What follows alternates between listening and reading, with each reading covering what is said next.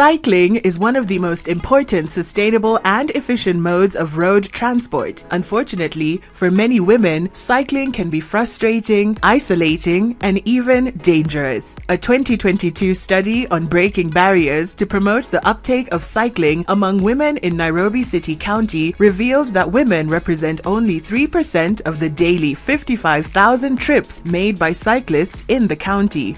The research showed the gap was due to the barriers female cyclists face, like negative socio-cultural perceptions, safety and security concerns, inadequate cycling skills and facilities, and inaccessibility to women-friendly bicycles. In light of this, Flone Initiative, with the help of FIA Foundation and the Breaking Barriers Technical Working Group, developed a gender inclusive in cycling resource material to help understand the cycling needs of women and how to address them by resource targets, bicycle manufacturers, vendors, cyclists, and trainers. The highlighted needs revolve around women's travel patterns, bike designs, cycling amenities, caregiving responsibilities, safety, sexual and gender based violence, SGBV, and skills building. Cycling stakeholders should note the following pregnant women only cycle with a doctor's authorization. Manufacturers assemble low slung bike frames to accommodate pregnant mothers and ensure that there are rear bike racks or baby seats for women with young children.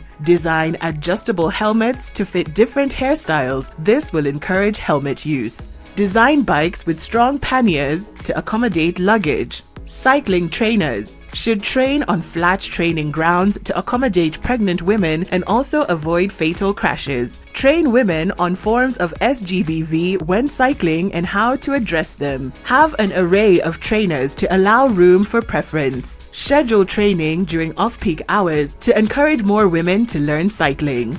Policymakers to implement non motorized transport policies, providing inclusive cycling amenities, bike parking facilities, sanitation facilities, cycling lanes. All participate in community outreach to demystify gender stereotypes in cycling, installing bike trackers for easy tracking of lost bicycles. Flone Initiative Flone Initiative is a woman led charitable organization that is working towards the creation of safe, sustainable, and accessible public transportation spaces for women and vulnerable groups in Africa. Follow us on our social media at Flone Initiative or partner with us at program at floneinitiative.org. Visit our website at www.floneinitiative.org to learn more about our work and how you can be involved.